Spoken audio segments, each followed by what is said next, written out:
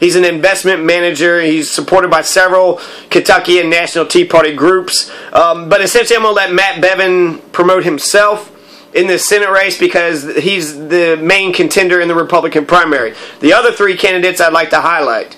I won't be able to get through all of them, but so Brad Copas. Brad Copas comes out of Lexington, Kentucky. And Brad Copas is a former National Guardsman. He fought into two in two different wars. He's so pro-gun. He's um, he's in favor of Kentucky citizens actually being able to have drones and tanks and probably nukes too. The argument for the Second Amendment is to stop an oppressive government. And he said before, during the Revolution, the government had, you know, like their own little guns and then the people had their own little guns and so it was actually kind of equal. Um, but now, since the U.S. government has all the weapons and all you have is these little pea shooters out here, it's not even, you know, it's not even the same.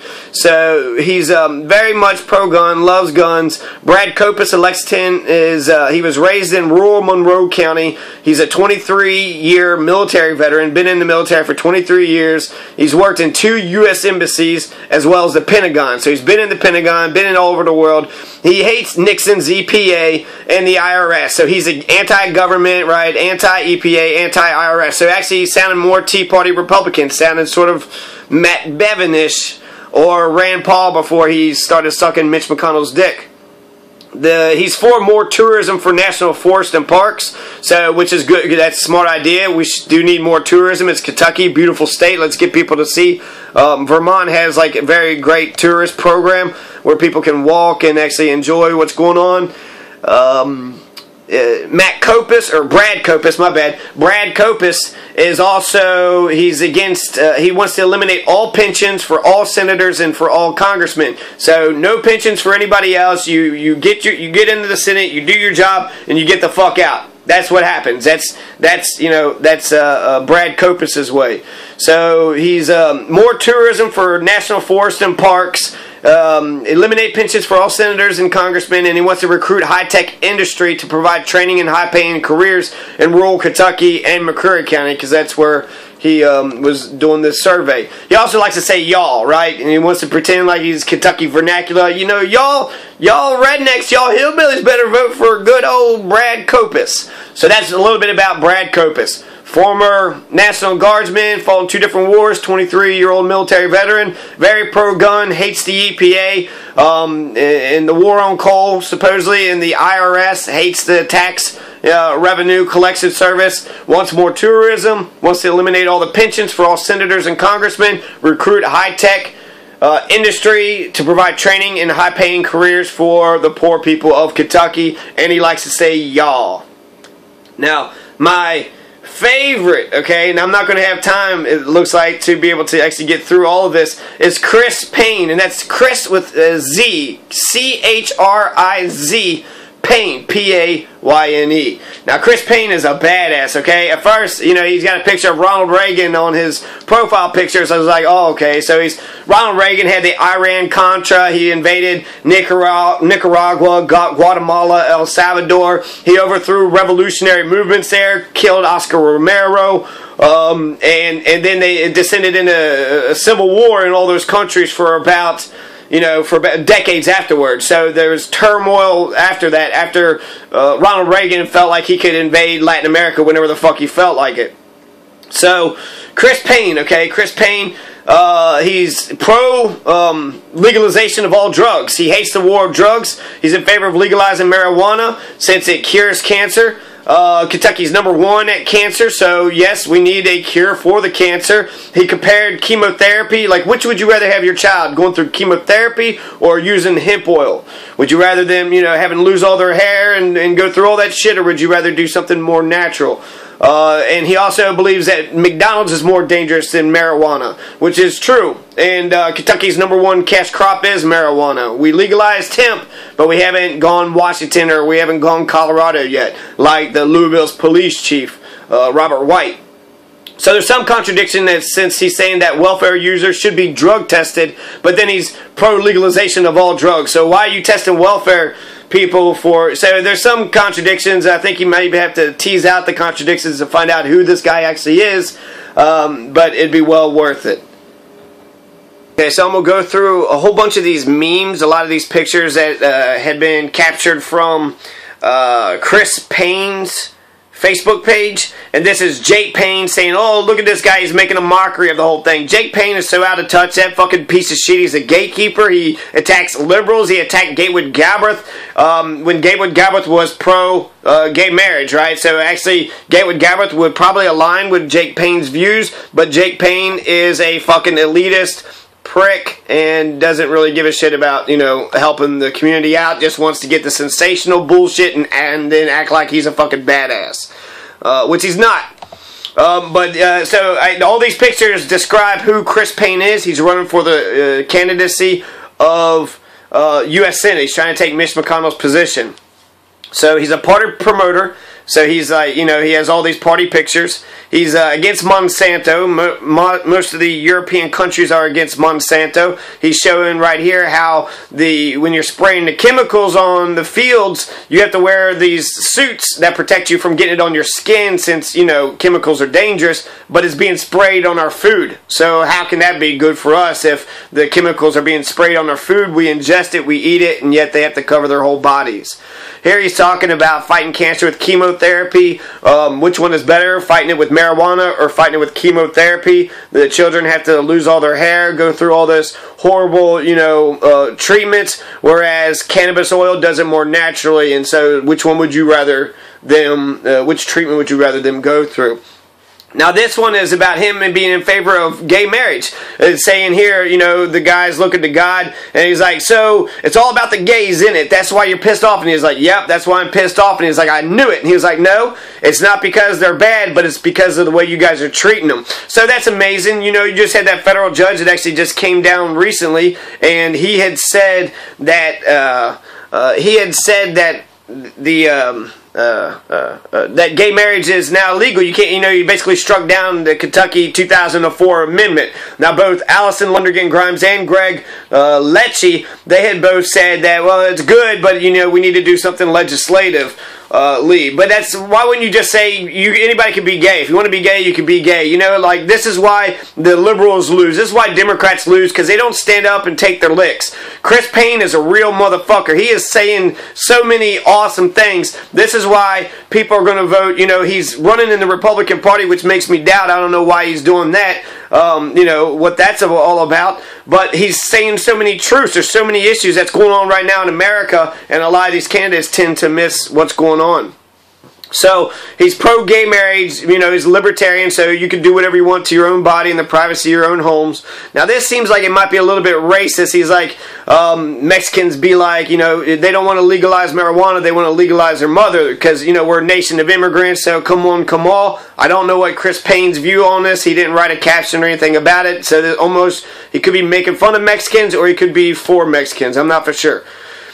Here's uh, Payne 2014. He's for drug testing for welfare. Now that's insane because he's you know pro pro legalization of marijuana. I think he's pro legalization of all drugs, and yet here he's saying that he's for drug testing for welfare. So what's what's the you know what what gives here? What's going on? Are you for the legalization or not?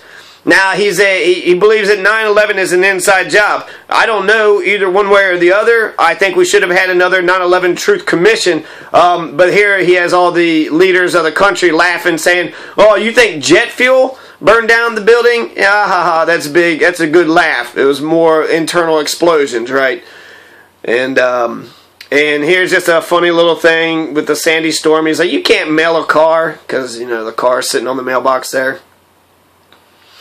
He's like, oh, you so you think 9/11 truth is just a conspiracy theory, right? Well, I guess in your world, buildings are just they just fucking disappear, and passports are fireproof. Well, that's saying that uh, the building, the third building, it just fell down on its own, right? How did it fall down? And then they found the passport on the ground. So how did the passport survive the plane crash? And they found it on the ground. Where, where'd that come from? Uh, here he's still around on 9-11 where he's saying that the, a dragon blowing fire on the buildings would be a more likely story than the official ev- uh, version of events. My thing is that the effects of 9-11 is it made us an imperialist country where we're invading and bombing all these other countries. So, you know, the effects of it, they use that event to destroy the whole world. He's pro Rand Paul to protest the drones and the out of control government, um, but I don't think Rand Paul right now, when he's sucking Mitch McConnell's dick, will actually say anything um, in favor of Chris Payne, even though Chris Payne is a Rand Paulist, right? He's talking bad about Matt Bevin, and um, you know uh, Rand Paul is maybe he's just holding his nose until the end of the campaign, but but seriously. Here you have a little bit of Doctor Strangelove. There's that guy that goes uh, ape shit and just starts bombing everybody because he was like, the fluoride's in the water, the fluoride's in the water. But there is a lot of data that suggests that it is poisonous. You know, they're putting it in the water, and I don't know if it's saying that it's for mind control, um, especially like clean. I don't know what, what the, I, I guess I have to look more into that. He's uh, talking about the chemtrails. So there's the idea that the government is sitting there spraying all these clouds, all these toxic chemicals on the entire population, and they're doing it for, you know, I guess some sort of mind control. And there are a lot of weird ass chemtrails. Why are these chemical trails all the, up in the air? So he's bringing open a lot of new ideas and a lot of new issues that's going on in America. Harry's playing with his toy. He's got he's pro gun, right? Which that's He's an American. Basically, liberals and conservatives are pro gun. Here's a picture coming up. Here he's kind of, he's not, uh, I don't think, he, he had one with uh, Zimmerman. He said that uh, George Zimmerman's jury was full of Paula Deen's people. He had a meme, a picture saying that. Um, but here he's talking about how the NSA is attacking the NSA, so the NSA could spy on all of our phones and emails and our conversations. But you know, Paula Deen says the N word, and then everybody loses their minds. So it's sort of a question of priorities. Uh, he loves his gun, right? I loves my gun. I loves my gun. Um, the NSA is a huge deal. We're not a free country. Whistleblowers are being uh, targeted, and maybe the bankers that are getting killed off or committing suicide probably had knowledge about it. But since there's no whistle protection laws, they might get you know thrown in jail or they've been getting killed.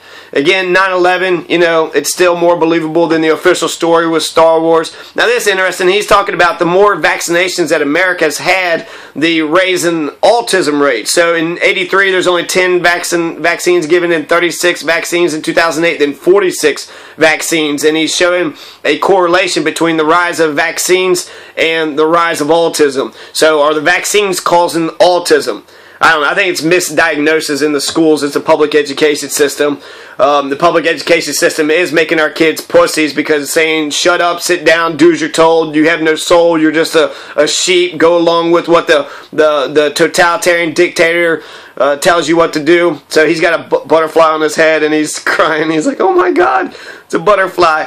Here he's got um, he's being an entrepreneur and he's saying, you know, there are jobs out there. It's probably just a funny picture and it's sort of interesting. I mean, that's uh, it's interesting how this this lady makes money. She clears twelve hundred and fifty dollars a day just to have men, you know, stuck on her fake boobs that have a ton of margarita um, mix and alcohol in it. Here's Chris Payne just being a badass, just chilling. He's a party promoter, so that's sort of you know, he could just be running this to get more attention. Um, regardless, he's putting all these issues. I hope he goes to the debate. I don't know why he wasn't at Fancy Farm. He's an unknown, but man, he's a badass. Okay, he's way better than Matt Bevin. The Tea Party should be backing Chris Payne 100% because he's right on all the issues.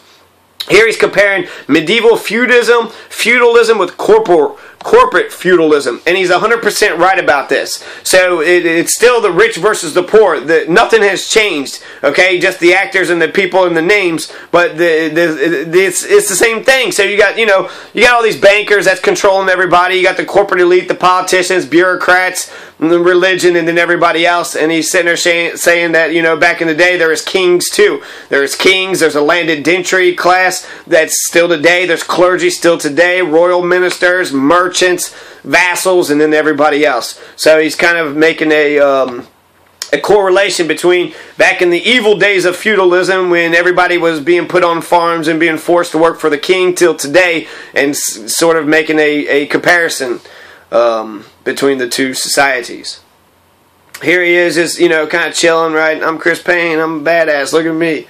Um, he brings up a ton of good issues. The NSA thing is a great issue. The Patriot Act came out of 9/11. The Iraq War came out of 9/11. So bringing up 9/11 up as an issue, saying it's an inside job, has a lot of implications for what's going on um, with the entire world. If it was an inside job, then that means George Bush and company, Dick Cheney, and the rest need to be prosecuted. Uh, they need to be put in prison. Uh, here, the Guy Fawkes mask kind of twisted. He's a Republican. Why are you running as a Republican? But Guy Fawkes is about revolution. So he's a revolutionary. He's an internet guy.